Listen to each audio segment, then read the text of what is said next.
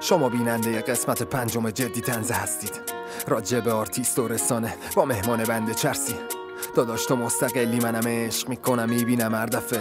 چشمی داداش ولی حتی نشدم نزدیک به چیزی که عقلم ما رو خیلی چیزا چشم بستیم پولی که عبت میومد. ریسکمون بیشتر از اونایی که باشه کم سیری هر روز بیرونن.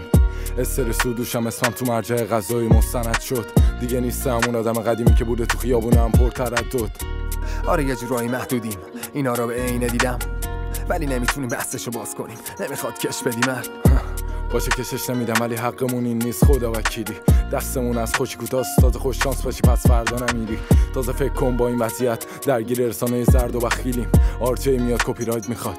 با هزینه چست و مندیریل داشتی پس پول کجاست؟ اگه پول باشه می‌دونی که خب دردینی اینجوری که تو میگی ما دست جمعی داریم مفر میشیم. اوه آره تا دلت بخواد بابا رفت فارسی هم میشه قاتیش کرد دادا.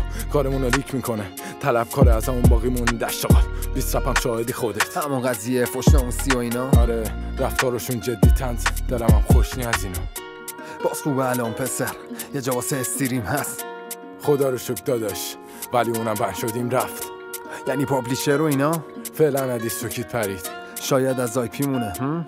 با وی پی حل میشه سری. نه پس آی پی نیست کجای مرد؟ بس تحریم زبونه. وگرنه کار ما هم مثل اونوری و خب همه چی تموم. یعنی چی داداش؟ و چی میمونه؟ واسه ما بشیم پاپیچی کانال و شبکه ها خیلی ساده ای یا واسه ما رپرا داداش همه چی حرومه. اینجا یه سوال پیش میاد. و چرا می‌کنیم اکثرا کار با این همه مشکل و دغدغه دنبال تیم قوی دنبال دستن در کار؟ چون که می‌خوریم نون دل نبودیم دنبال پول چک دادن انرژی مثبت و بدون توقع ستونت بوده حفظ. دلم پر غمه اما می‌بینی که حرفی نمی‌زنم. هر جا سرم تو کار خودمه نمیمونم بد فاز. این حالمونو می‌گیرن از هر راه. مرسی چرسی. چکرم.